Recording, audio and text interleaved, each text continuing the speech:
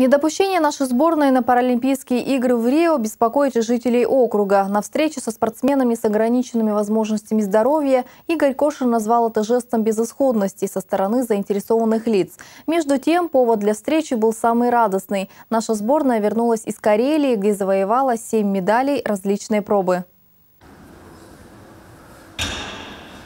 Александр Сюткин – капитан команды спортсменов Ненецкого округа с ограниченными возможностями здоровья. Несмотря на диагноз, инвалид третьей группы три раза в неделю ходит на полноценные тренировки – теннис, дартс, стрельба, пауэрлифтинг.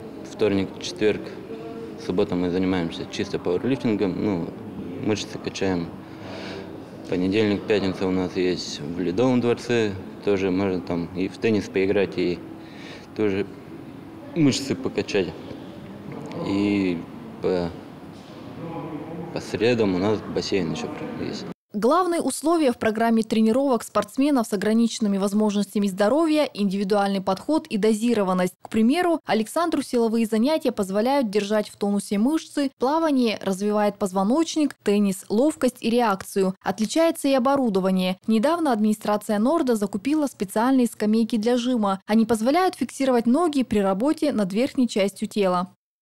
Сначала мы занимались научных, таких, как, так, как для всех, но у нас есть и тренажеры специально для инвалидов. Вот. Если сейчас и администрация Дворца спорта Норд приобрела скамейку соревновательную для, именно для пауэрлифтинга, для жима лежа.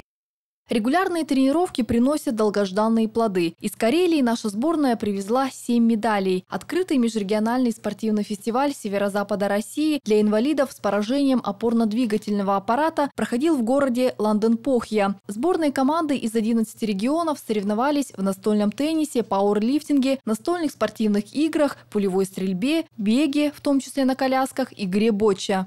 В общекомандном зачете наша сборная заняла почетное пятое место. На вечере чествования спортсменов губернатор Ненецкого округа поблагодарил каждого победителя за пример, достойный восхищения.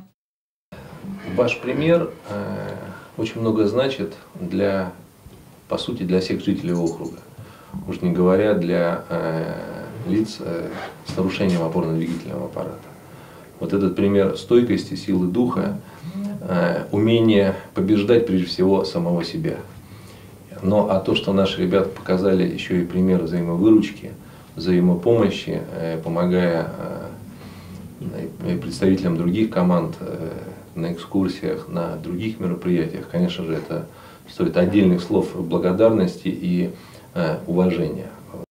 Отдельные слова благодарности прозвучали в адрес Надежды Ковалевской. Председатель регионального общества инвалидов делает все, чтобы жизнь подопечных не имела границ. Буквально через неделю сборная Ненецкого округа во второй раз отправится на Всероссийский физкультурно-спортивный фестиваль инвалидов «Пара Крым-2016». Там, на берегу Черного моря, сотни таких же спортсменов со всей России еще раз покажут, что значит преодолевать себя.